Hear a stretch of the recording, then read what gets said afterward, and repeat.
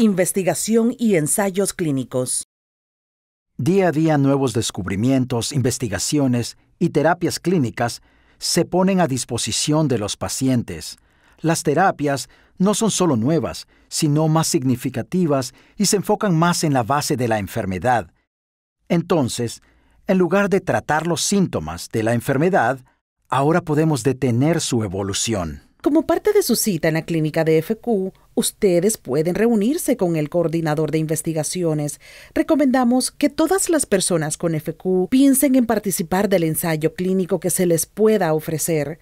Es importante que cada persona con FQ pueda participar que sean parte de las nuevas terapias que podrían aparecer para ayudar a mejorar las vidas de los pacientes. La investigación y los ensayos clínicos son importantes porque permiten mejorar las terapias y los tratamientos contra la FQ. Si no podemos mejorar las terapias y los tratamientos, es difícil mejorar los resultados para los pacientes que viven con esta enfermedad. Los ensayos cuentan con muchas capas de seguridad para proteger la seguridad de los pacientes registrados en ellos esto incluye controles clínicos en los que los médicos supervisan los estudios y se aseguran de que los pacientes no sufran efectos colaterales o síntomas que requieran la interrupción del estudio. También hay grupos de personas que supervisan los datos en conjunto y se aseguran de que no haya síntomas o efectos colaterales. Además, todas las universidades cuentan con grupos independientes llamados comités de revisión institucional que aseguran los derechos y la seguridad de todos los pacientes. La lista de medicamentos en proceso para FQ es una herramienta interactiva utilizada para registrar el proceso de los medicamentos estudiados en ensayos clínicos. El proceso clasifica los medicamentos según su uso o categoría e incluye medicinas diseñadas para tratar diversos síntomas de FQ, así como medicamentos que apuntan a tratar el defecto básico. Si está interesado en la investigación y su centro no participa activamente,